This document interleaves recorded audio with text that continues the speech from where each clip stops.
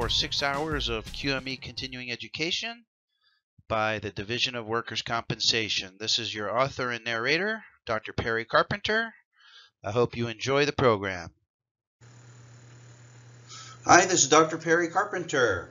I'd like to thank you for taking the time to join me on this video.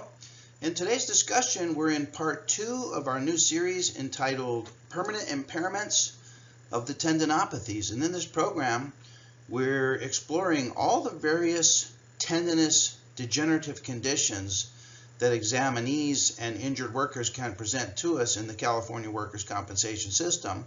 And we're talking about how to provide for permanent impairment ratings for these conditions, which will likely never, ever return to pre-injury condition. It's interesting because the AMA guides themselves do not provide for permanent impairments directly for tendinopathies uh, anywhere in Chapter 15, Chapter 16, and Chapter 17 of the AMA guides. But these conditions do uh, leave examinees with permanent impairment and reduced function. And so we're going to explore uh, how to provide permanent impairments for these conditions, both under the strict application of the AMA guides and then also by analogy under Almaraz and Guzman. And I have a fascinating program for you today, but before we get into today's discussion, let's just briefly review uh, some of the topics that we discussed in session one. In session one, we defined tendinopathy and we provided some statistics on the incidence and prevalence uh, of tendinopathies in the uh, workplace and industrial settings. And we stated that like the likely incidence of these conditions is likely underreported, with many examinees and many employees receiving uh, no consideration at all and no medical treatment and no reporting of their painful conditions. And so it's very likely that many, many more workers are experiencing pain due to tendinopathy than are actually being reported. And then we went on to uh, trace the development of the tendon structures of the body from the embryonic mesoderm. And we found that uh, all connective tissues of the body derive from the embryonic mesoderm. And we ended our last session with a cursory introduction to the connective tissues of the body. And we're going to continue today by uh, further exploring the uh, connective tissues and then settling in on an in-depth discussion of the anatomy of the tendon, which is one of the connective tissues. And this is important for you to understand the anatomy of the connective tissues in general and the anatomy of tendon uh, tissue specifically, so that when we get into a discussion of degenerative tendinopathies, you understand just exactly what it is in the tendon structures that degenerate. And we'll go into that into uh, great detail. So uh, with no further ado, let's continue uh, today's discussion, which is session two of our new program entitled Permanent Impairments of the Tendinopathies. Now, all of the connective tissues of the body consist of three main components. And what distinguishes one connective tissue from another type of connective tissue is the type and amount and consistency of these three main components. So all connective tissues consist of cells. All connective tissues have some type and some quantity and some arrangement of fibers uh, within the tissue, and they also have some type, some quantity, and some consistency of what's referred to as ground substance, also sometimes referred to as extracellular matrix. So, for example, if we consider two connective tissues, say, for example, tendons uh, and perhaps bone, well, both of those are connective tissues. They both derive from the embryonic mesoderm, and both of those connective tissues each contain cells. Bones contain cells. Tendons contain cells. In bones, we call those cells osteocytes. In tendons, we call those cells tenocytes. Both bone and tendons contain fibers. And uh, in tendons, we call those fibers collagen fibers. And also in bone, we call those fibers collagen fibers. Both tendons and bones contain extracellular matrix or some form of ground substance. In bone, the ground substance and the extracellular matrix becomes calcified and gives us that hardened, hard as bone substance, whereas in tendons, the ground substance is more liquid, is more flexible, is more fluid. And so uh, bone, of course, is both visibly and functionally different from tendon, but they share anatomically same similar uh, backbone in that they all they both have cells, they both have fibers, and they both have ground substance. And all of them are immersed in some quantity uh, of fluid environment within the ground substance. Now, this is important here to understand the anatomic makeup. In, in today's program, uh, specifically with regards to tendons, it's important that you understand the cellular anatomy, the fiber anatomy, and the anatomy of the ground substance because each of these represents an area wherein the tendon can go bad, wherein the tendon can become degenerative. We see changes in the cellular structure in tendinopathy. We see changes in the fiber structure in tendinopathy. We see changes in the ground substance structure in tendinopathies. So let's talk before we get into tendinopathies and the changes that take place in each of these structures. Let's further develop the idea uh, of these connective tissues so that you're firmly uh, familiar with these concepts. So let's take a look, at each of these uh, components individually and let's begin uh, with the various types of cells that we see in the various types of connective tissue. And as we're going to see, each of the connective tissues have their own distinctive cell type, but all of the cell types are derived from the same embryonic progenitor stem cells, which then go on to differentiate into each of the specific types of connective tissue cells. So, for example, uh, the fibroblasts, fibroblasts are the cell types, the immature cell types that are found in the fibrous connective tissues such as tendons and ligaments, and these derive from the embryonic stem cells. Chondroblasts, on the other hand, uh, derive also from the embryonic stem cells, and they become differentiated into the type of cell that produces the structure that we become familiar with in uh, the form of cartilage. So these cells differentiate to produce different type of fibers and different type of ground substance that produces what we know as cartilage as compared to what we know as uh, tendon or ligamentous tissue. But again, these uh, connective tissue cells all derive from the same embryonic progenitors. They simply become differentiated into specialized cells that then go on to uh, produce the specialized type of connective tissue. Uh, osteoblasts, these are found in bone. Uh, the mature cell found in bone is known as the osteocyte. The mature cell found in cartilage is the chondrocyte. The mature cell found in connective tissue is the fibrocyte. And these blast cells are the immature cells that set up the structure of bone, that set up the structure of cartilage, that set up the structure of tendon and ligament. And it's the mature cell, the fibrocyte, the chondrocyte, the osteocyte, that then maintains that maintains the mature, fully formed connective tissue structure. Hemocytoblasts, these are the cells found in blood. These uh, type of cells produce the red blood cells, produce the white blood cells, produce the uh, dissolved fibers that are found in the plasma. The dissolved fibers are the fibrinogen and clotting factor fibers that then come out of solution to produce the clotting uh, fibrin, fibrinogen, uh, that is responsible for the clotting of blood. Again, the hemocytoblasts uh, derive from the same embryonic progenitor cells.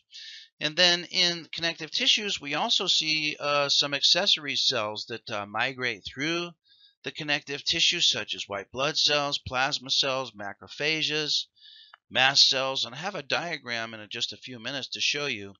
Uh, one example of connective tissue, uh, we're going to look at the uh, loose areolar connective tissue, and we will see some of these various uh, accessory cells migrating through the loose areolar connective tissue. Now, like many other cell types in the body, tendon cells, tenocytes, have cell-to-cell communication through specialized structures in the cell membranes. And cell-to-cell communication in connective tissues is important and specifically important in tendon structures because cell-to-cell communication is what's going to be responsible for the maintenance of the integrity of the tendon uh, as a whole and also it's going to be important in the degenerative process of the tendon as a whole. So for example, in uh, building up tendons in tendon development and in tendon strengthening, tendons respond to anabolic sig signals such as uh, anabolic signals delivered through exercise or through rehabilitative procedures and physical therapy. These anabolic signals are communicated from cell to cell to cell throughout the structure of the tendon so that stress applied to one location of the tendon can result in anabolism or tendon buildup in another part of the tendon. And this is a useful feature that can be exploited in physical therapy, but also degenerative catabolic signals uh, where a tendon has been injured in one area. Unfortunately, these anabolic signals spread throughout the entirety of the tendon through these cell-to-cell -cell communication networks so that when a portion of the tendon has been injured and becomes degenerative, unfortunately the entire uh, tendon structure becomes degenerative through these cell-to-cell communication uh, junctions and pathways. And these pathways are known as gap junctions.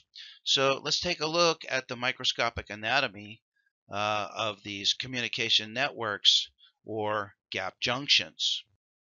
So here we have a diagram that depicts uh, a couple of cell types uh, in close communication with each other.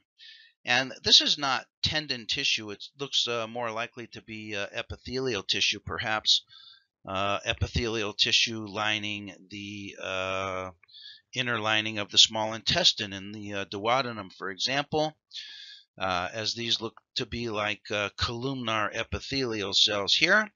But anyway, this demonstrates the concept that these adjacent cells have connections where the cells come into close proximity.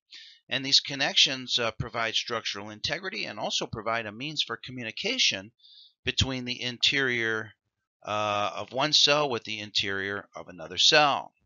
So there's many types of these uh, cell-to-cell -cell connections. One of these uh, cell-to-cell -cell connections is known as the desmosome. So this here is a blow-up uh, I'm sorry, this is a tight junction. This is a tight junction. So here we have a blow up of a tight junction.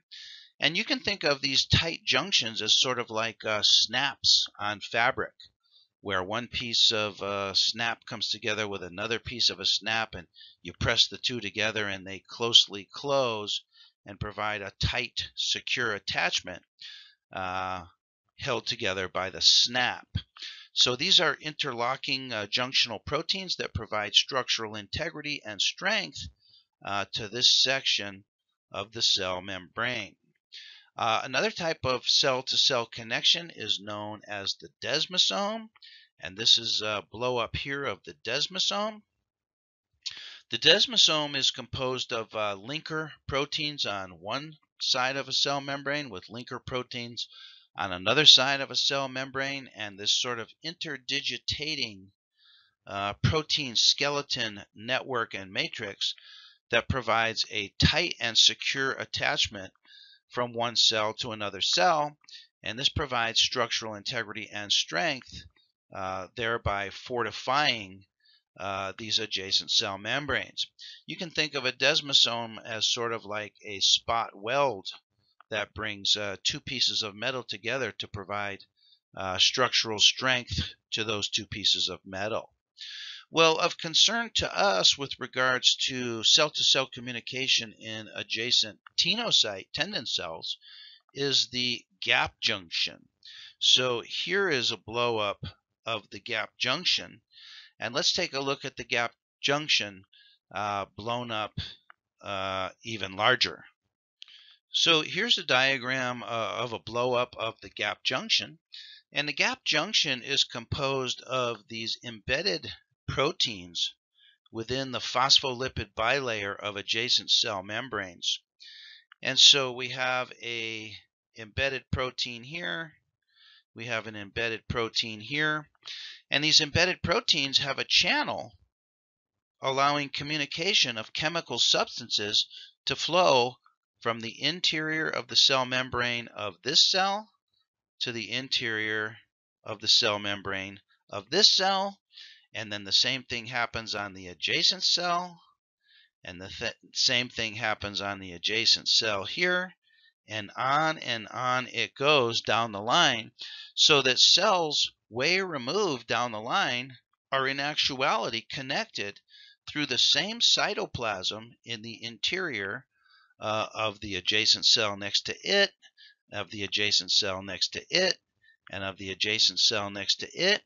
So when you think about it, this interconnectedness of the cytoplasm of these cells really creates a common milieu or a common internal environment uh, amongst all of these cells so that a chemical signal that's generated here in this cell quickly becomes spread to the adjacent cell which quickly becomes spread to the adjacent cell.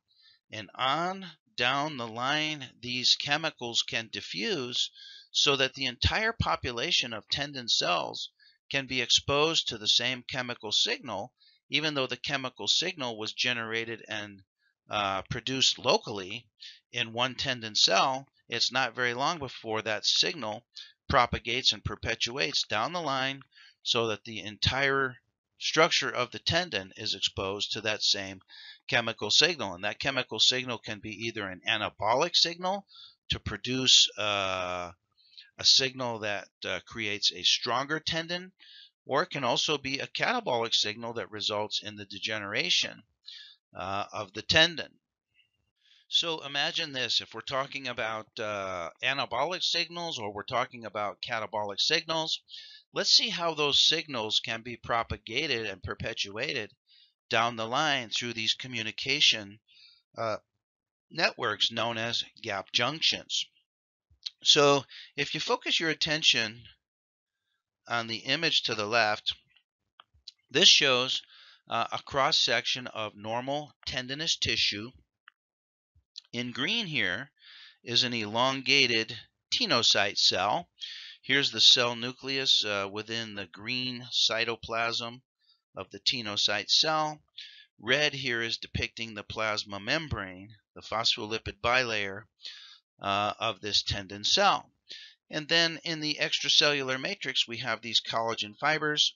Sort of in a relaxed tendon, you can see that these collagen fibers are sort of assuming a wavy, not taut or tight appearances appearance, but they are oriented uh, somewhat linearly.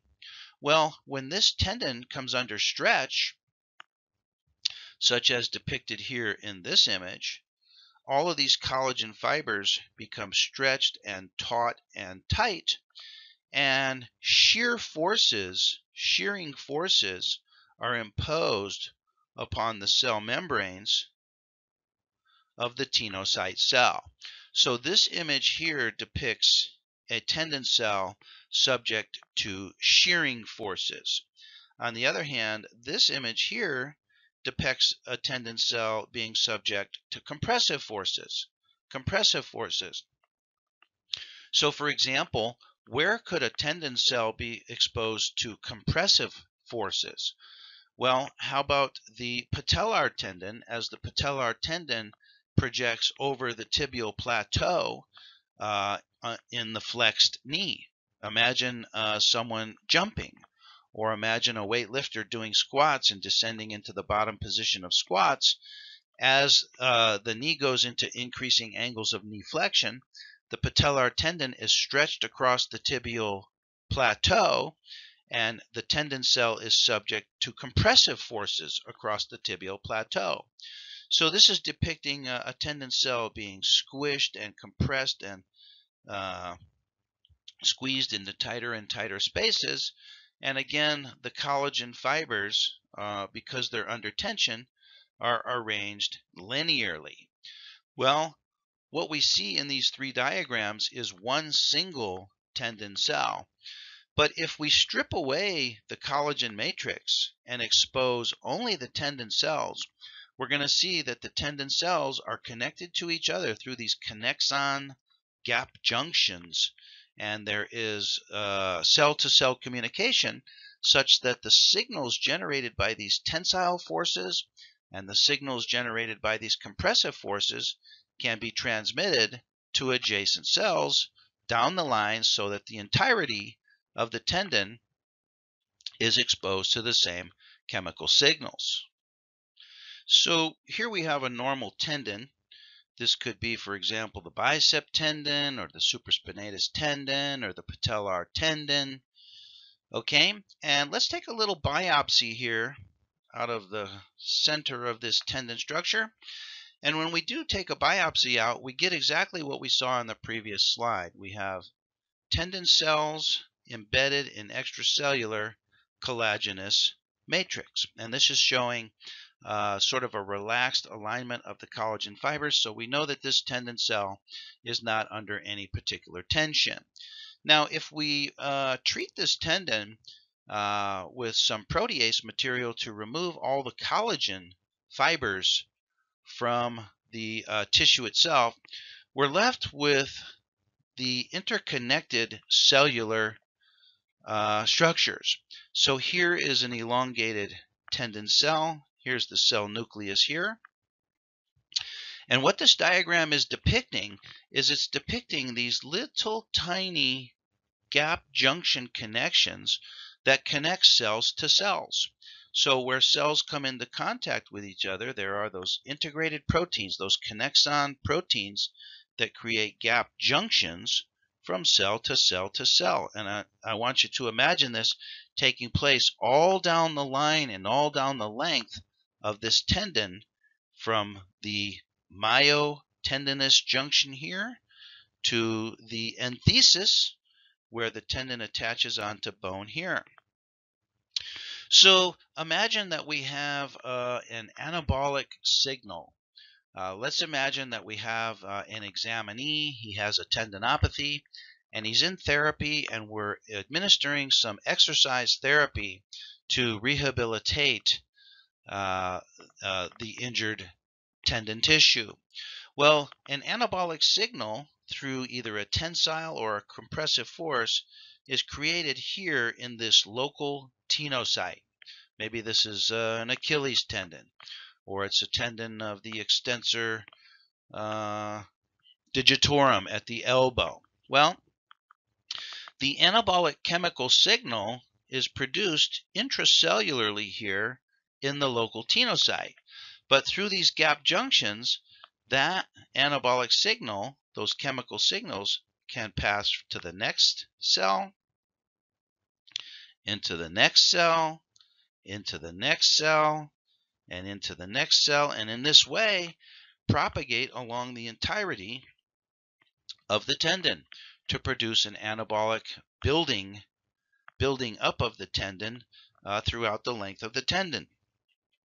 So here in our next diagram, it shows the spreading of this anabolic signal through these red dots, which are supposed to represent uh, calcium in this case, or uh, also inositol phosphate which are the anabolic uh, signaling chemicals for anabolism.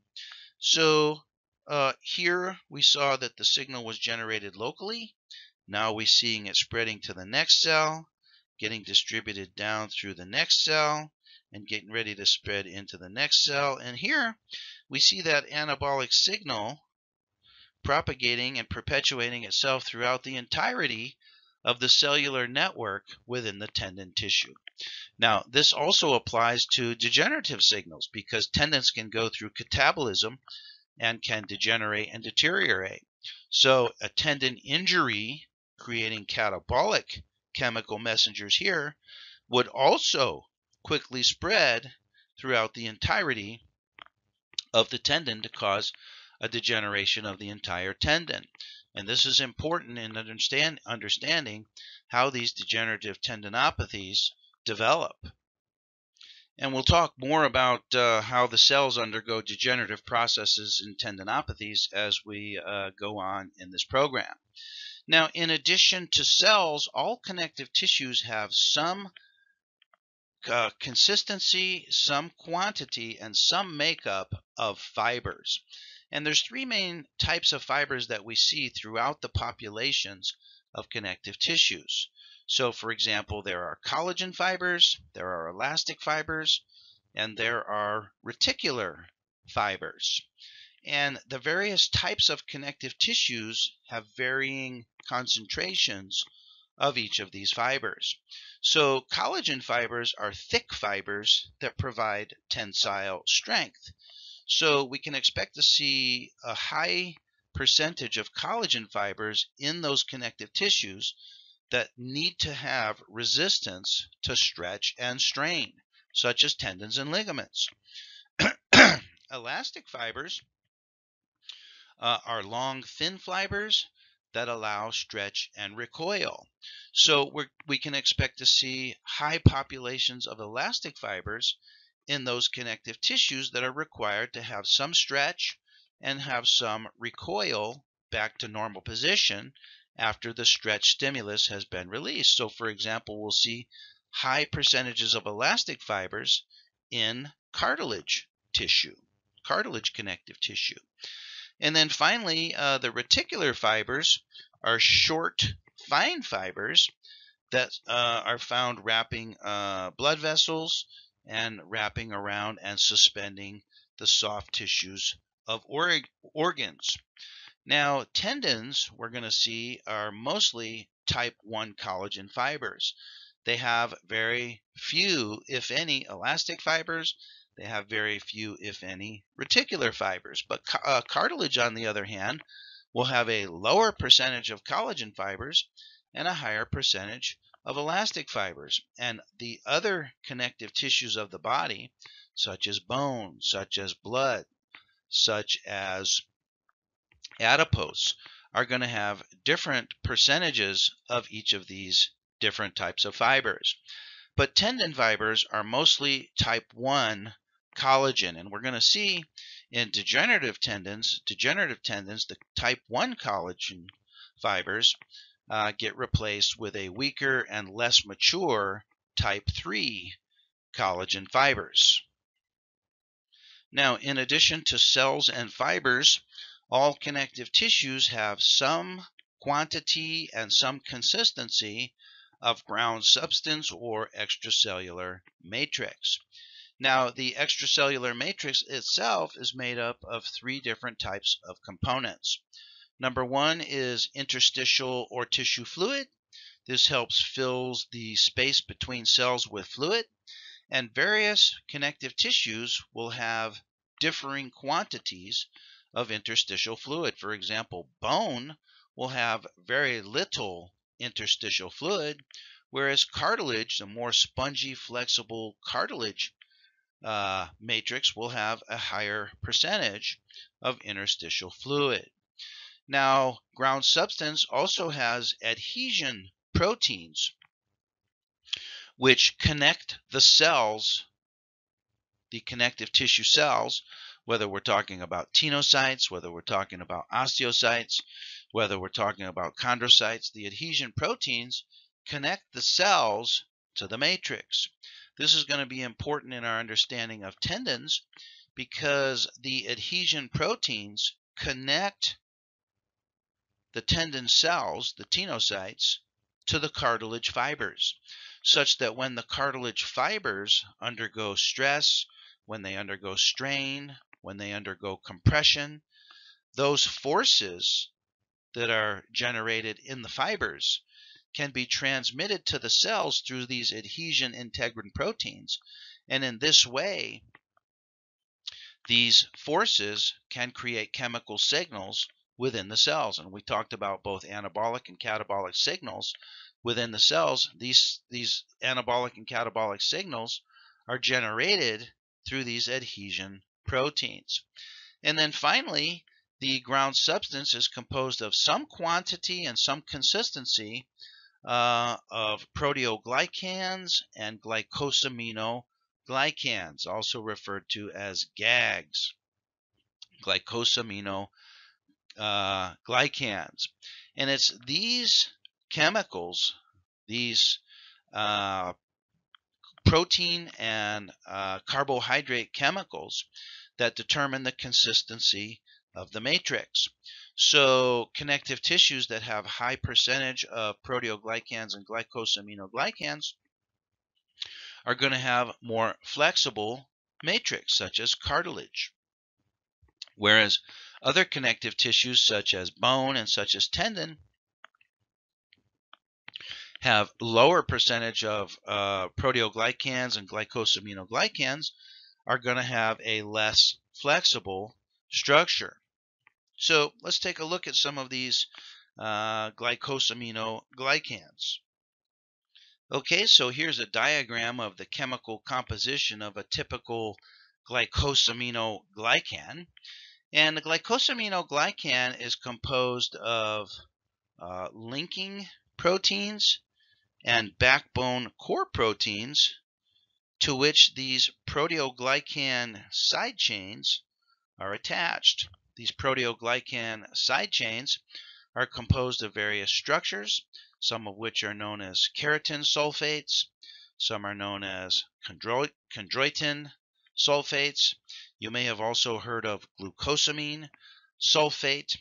And this provides the basis for the glucosamine and chondroitin sulfate uh, nutrition supplements that are recommended for uh, patients who have uh, degeneration of the cartilage connective tissues of the body.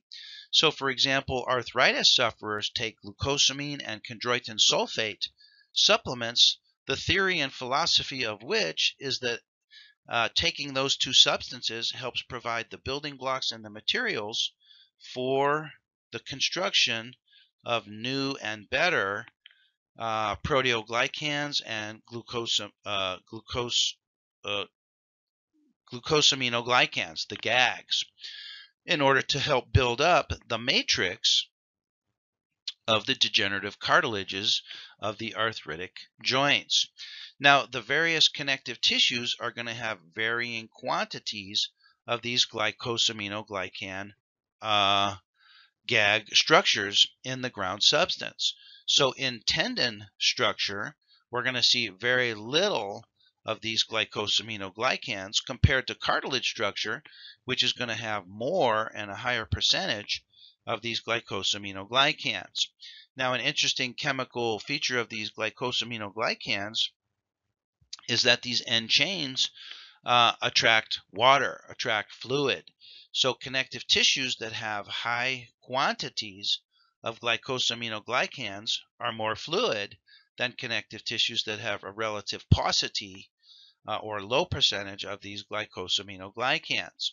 So this explains why cartilage is more uh, aqueous, is more spongy, is more soft, is more uh, elastic, and, and uh, recoils more than does tendon tissue because tendon tissue has a relative paucity of these glycosaminoglycans. In fact, tendon, as we're going to see, is mostly is mostly simply composed of uh, type 1 cartilage fibers with very little ground substance and very little of these glycosaminoglycans.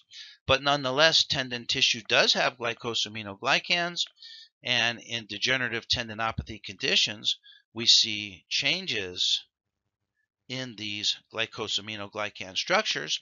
In fact, I'll give you a hint to, to when we get to de degenerative tendinopathies. With degenerative tendinopathies, we see the influx of more and new and additional glycosaminoglycans so that the tendon tissue itself becomes more aqueous, more, more fluid, and more puffy and more thickened. And this uh, increased population and percentage of glycosaminoglycans crowds out some of the cartilage, and so the tendon becomes more aqueous, more fluid, and less resistant to tensile stresses, and a weaker tendon overall due to a change in the relationship between the percentage of collagen fibers compared to the uh, amount of glycosaminoglycans. So very fascinating this anatomy uh, of the tendon structures because it's interesting. We're going to see degenerative changes occurring in each of the components of the anatomy of the tendon structure. We're going to see degeneration in the cells. We're going to see degeneration in the type and strength of the collagen fibers. And we're going to see degenerative changes also uh, in the ground substance. So we can start putting some of these ideas together uh, by looking at uh, a typical type of connective tissue known as the loose areolar connective tissue. Now the loose areolar connective tissue is located right beneath the skin. So I want you to take your finger down right around your uh, umbilicus and take a pinch of that tissue on top of your abdominal muscles and get a pinch of the skin and the subcutaneous tissue there. And we're talking there about the loose areolar connective tissue. This is here exactly what it looks like if you could look at it underneath the microscope. So as you pinch that uh, tissue around your umbilicus, imagine uh, the first topmost layer is the epidermis. Below the epidermis is the dermis. And then below the dermis, we have this structure here known as the loose areolar connective tissue. And the loose areolar connective tissue is where the fat cells are. And fat cells and fatty tissue is a form of connective tissue. And depending upon how much uh, you're able to pinch down there around your umbilicus, you may have uh, more and larger adipocytes and more and more fatty cells down there than someone else, or perhaps more than what you had uh, when you were a little bit younger. But uh, here's an example of an accessory cell uh, located within this connective tissue. So the principal cell type in this connective tissue, the type of cell that uh, maintains this structure is the fibroblast. So here's the fibroblast cell. Here's another fibroblast cell. So we have cells. This tissue is maintained by the fibroblast cell. We also have some fibers. So here is a collagen fiber. Here's another collagen fiber. Here's another collagen fiber. Here are some of the elastic fibers that gives the skin down there its elasticity such that when you wiggle your fingers across the skin and deform the skin, it doesn't tear the skin and it returns the skin back to its uh, proper position once you stop rubbing it. And then also uh, here are some of these reticular fibers here in blue that sort of support these uh, cells and sort of act like a hairnet to contain uh, the whole structure. And then in the middle and in amongst all of these fibers and all of these cells is the ground substance in here. This is where the glycosaminoglycans are located. This is the ground substance or the extracellular matrix here. And in this loose areolar connective tissue, the extracellular matrix, matrix uh, is quite aqueous. It's quite fluid. Uh, it's quite a loose, loosely packed structure. And then uh, imagine in tendons, however, we have a much greater population of collagen fibers. In tendon, the collagen fibers are all arranged linearly side by side in parallel fashion. We have a small percentage of tenocytes scattered uh, intermittently throughout the uh, collagenous structures. And in tendon cells, we have very little to no ground substance. In other words, tendons are not very aqueous, they're not very fluid. It's a very tightly packed tissue where most of the ground substance uh, has been squeezed out. So uh, this completes our uh, discussion of the anatomy of the connective tissues. And remember, the take home messages regarding the anatomy is that all the connective tissues of the body are composed of cells, fibers, and ground substance. And what distinguishes one type of connective tissue from another type of connective tissue has to do with the type of cells found within that connective tissue, has to do with the type and quantity of fibers, and has to do with the type and consistency of the ground substance. Okay, so now that we know the uh, anatomy of the tendon tissues and the connective tissues in general, uh, let's explore some of the specific types of connective tissue and uh, get into a discussion of the specific types of connective tissue associated with tendons. So connective tissues can be broadly divided into uh, two basic categories. The connective tissue propers, which uh, we will uh, discuss with regards to tendons and ligaments, and then also the special connective tissues. So special connective tissue consists of the reticular connective tissue, adipose tissue, cartilage is one of the special connective tissues, bone is a special connective tissue, and then blood is also one of the special connective tissues. So that only leaves the fibrous connective tissues. Those are contained within the general category of connective tissue proper. Now, uh, with regards to wound healing, newly vascularized connective tissue that forms in the process of wound healing, this is referred to as granulation tissue, and you may have heard that term in regards to wound healing, granulation tissue is the product of fibroblasts that produce a disorganized collagen patch across newly healed wounds. And then in time, granulation tissue uh, becomes organized and collagen fibers become organized into parallel rows. And that granulation tissue resolves into normal or uh, regular uh, connective tissue. So let's talk now about the connective tissue proper. Now, the connective tissue proper consists of the loose connective tissue and the dense connective tissue. And we saw already an example of loose connective tissue in the form of the loose areolar connective tissue found in the subcutaneous layer of the skin. Now, the dense connective tissues can be further uh, subdivided into the dense regular and the dense irregular connective tissues, with the difference between those two types simply referring to the arrangement of the collagen fibers, whether those fibers are arranged in a regular parallel fashion or whether they're arranged in an irregular or crisscrossing uh, fashion. So the difference between the loose and the dense connective tissues has to do with the ratio of ground substance to fibrous tissue. So loose connective tissue has much more ground substance and a relative lack of fibrous tissue as we saw in the loose areolar connective tissue, while the reverse, meaning a higher ratio of fibrous tissue to ground substance, is true of the dense connective tissue. So dense regular connective tissue is found in structures such as tendons and ligaments and is characterized by collagen fibers arranged in an orderly parallel fashion, giving it tensile strength in one direction. When you think of tensile strength, think of resistance to stretch. So the Achilles tendon has resistance to stress. The greater resistance to stress a tendon has, the more efficient it is at transferring muscular forces to the bone. So a, a degenerative uh, tendon loses its tensile strength. It loses its resistance to stretch. It loses its efficiency in being able to transfer muscular forces from the muscle to the bone.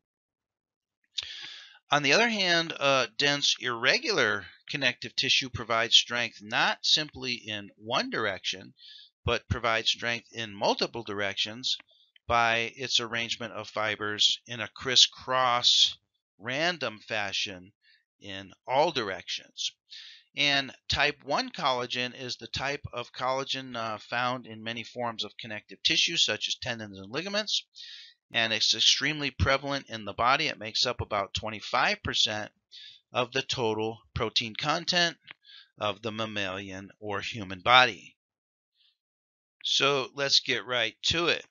The dense regular connective tissue is composed of parallel collagen fibers with only a few elastic fibers, very little uh, extracellular matrix or ground substance, and the major cell type is the fibroblast, which sets up the structure of the tendon, and then the mature cell, the fibrocyte, maintains the structure of the tendon.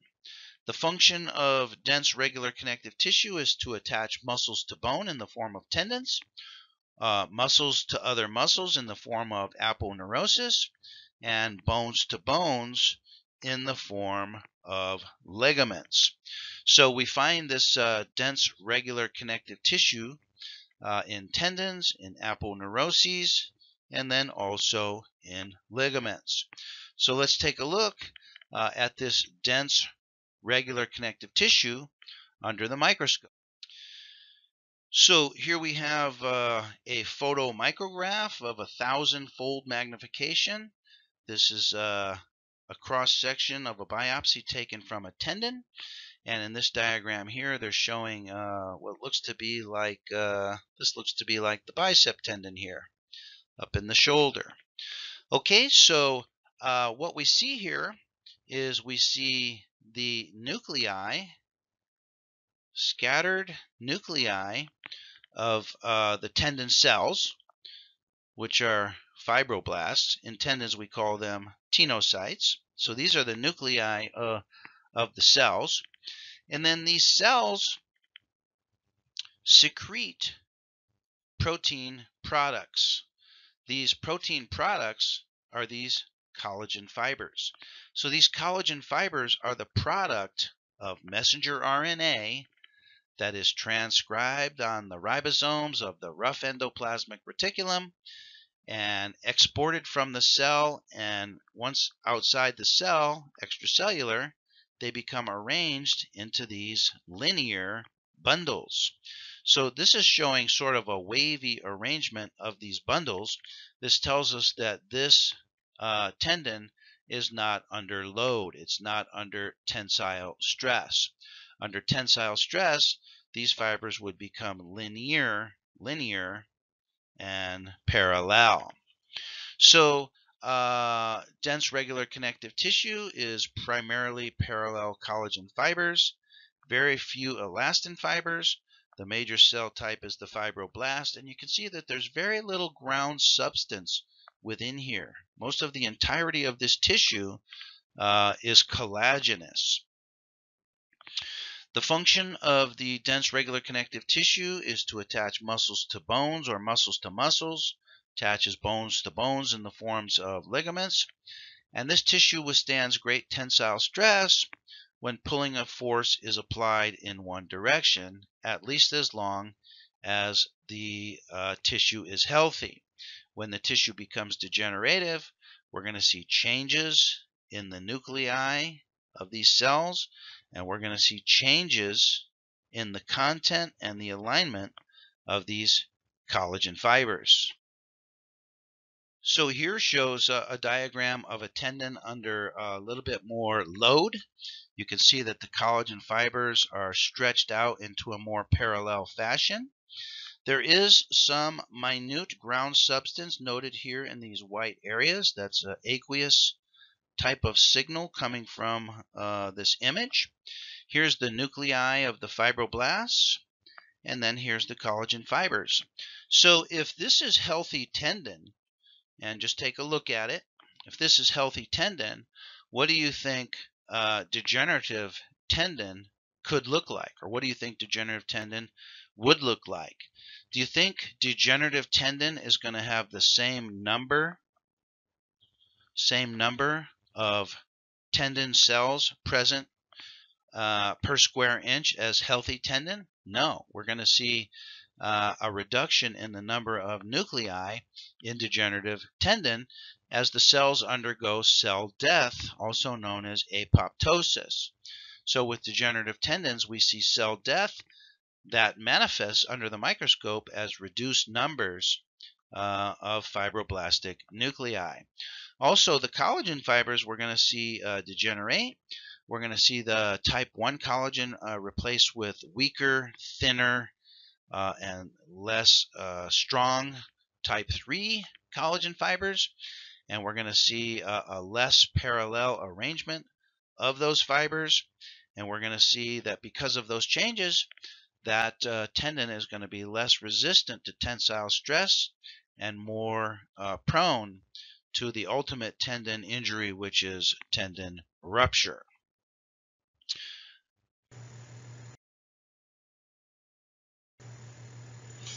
So, doctors, I hope this helps you. I think it's important to understand the anatomy uh, almost down to the microscopic and uh, cellular level. In fact, uh, I think it's important to understand uh, the origin of these tissues all the way back to the uh, embryologic level. And that's why we take the time uh, to go through uh, this anatomy review with you. And one of the important principles that uh, I want you to start thinking about with regards to the connective tissues in general and tendon tissue specifically is that tendon is dynamic tissue. Tendon, like muscle, responds to forces and stresses and strains. Like muscles, tendons fortify themselves and undergo anabolism when stresses and strains are appropriate, when stresses and strains are proper. We know also that bone, being one of the connective tissues, also responds to stresses and strains. And let me remind you of what you probably learned as Wolff's Law, which uh, tells us that bone aligns itself along the forces of stress and strain. So we know that bone is dynamic tissue. We know that muscles which connect to bone is dynamic tissue. Well, tendons which connect the muscles to the bones are also dynamic tissue. And like bones and like muscles, tendons undergo anabolism or building up or fortification when stresses and strains and loads are appropriate and proper, but they undergo catabolism or degenerative changes when stresses and strains and loads are inappropriate and are improper and are excessive. And in the uh, presence of uh, inappropriate loads and in the presence of injury, unfortunately with tendons, because of the cell-to-cell -cell communications through the gap junctions, Im improper loading and injury chemical mediators quickly spread from cell to cell to propagate a degenerative signal. Now, in the absence of proper treatment of these conditions, which is difficult to find in this day and age because the proper treatments for tendinopathies are only now being elucidated uh, and clarified within the last 10 years. In other words, the evidence-based medical treatment programs for tendinopathies is only now uh, being uh, discovered. So it's difficult to uh, find proper treatment programs for these degenerative tendinopathy conditions. And so in the industrial setting, that sets the stage for chronic degenerative changes. And we're going to go into chronic degenerative changes in our next session. We'll talk about the stages of tendinopathy. Important for us now is to realize that in the industrial setting and in the California workers' compensation system, tendinopathies have a high likelihood of becoming chronic and a high likelihood of resulting in permanent impairment. So with chronic degenerative tendinopathies, many injured workers will never fully recover and never fully return to pre-injury condition. And so it's important that you be familiar with the tendinopathies and how to provide for permanent impairments for examinees suffering from these conditions, and we'll develop those topics in our very next sessions. So for now, this is Dr. Perry Carpenter. I want to thank you for uh, joining me on today's video. I look forward to being with you on our very next video as well as we continue with our ongoing series entitled Permanent Impairments of the Tendinopathies. For now, I'm wishing you best of success in your career as a qualified medical evaluator.